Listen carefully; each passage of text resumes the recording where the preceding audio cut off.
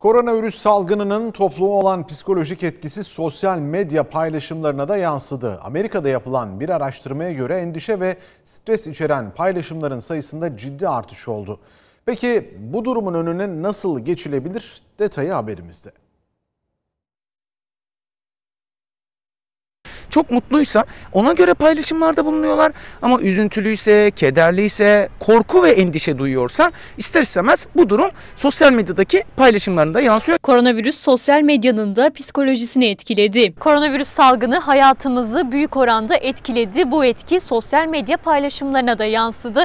Öyle ki endişe ve stres içerikli paylaşımların sayısında ciddi bir artış yaşanıyor. Bu sosyal medyadaki paylaşımların e, olumsuz içerikte olması kişilerin e, bir takım kaygılar yaşadığını da gerçekten o stresli durumla artık başa çıkamadıklarını da bize gösteriyor. Normale dönme beklentisinin içerisindeyken tekrar böyle bir şeyin olması ve vakaların artması kişileri daha fazla endişelendirmiş olabilir.